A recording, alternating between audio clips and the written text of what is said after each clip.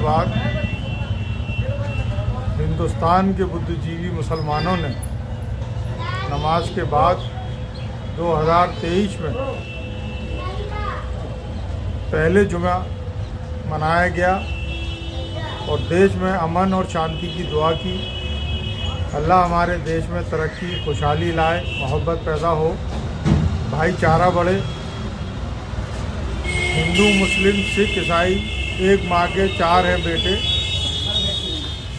इन चारों में मोहब्बत जैसे बनी थी सन सैतालीस से लेके आज तक वैसी मोहब्बत बनी रहे, ये दुआ की गई है।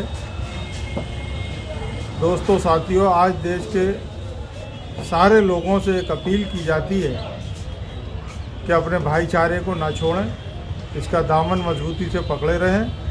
देश में अमन, खुशहाली, तरक्की हमारा नौजवान आगे बढ़े देश आगे बढ़े हम ये चाहते हैं और इसी के लिए हमारी दुआ ये जो है हुई है अल्लाह इसे कबूल फरमा ले आमीन। आमीन आज 2023 का पहला जुमा पड़ा है। आज यहाँ पर मुस्लिम समाज के लोगों ने देश में अमन चैन प्यार मोहब्बत हिंदू मुस्लिम सिख ईसाई सभी की बनी रहे और देश तरक्की करे। इसके लिए एक ख़ास दुआ का इंतज़ाम किया गया है। इस दुआ में यहाँ पर काफ़ी लोग इकट्ठा हुए और अमन चैन की और देश की तरक्की के लिए दुआ करें। अस्सलाम वालेकुम आज जुमे के दिन है। 2023 है। नए साल की पहला जुमा पड़ा है।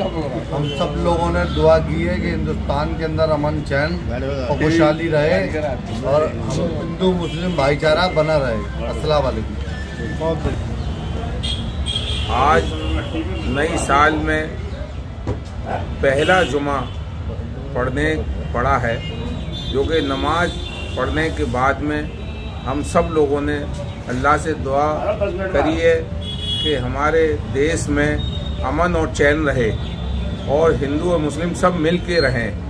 कभी भी कोई भी आपस में कभी ना इतफाक़ी ना पड़े, सब मिलजुल कर रहें। हम अल्लाह से दुआ करते हैं कि हम सारे लोग, हमारे मसरूर भाई हैं, हमायों भाई हैं, पठान कुरैसी हैं, शान भाई हैं, हम सब लोगों ने मिलकर यहाँ पर दुआ करी है कि अल्लाह पाक हमारे भारत देश के अंदर अमन और चैन रहे।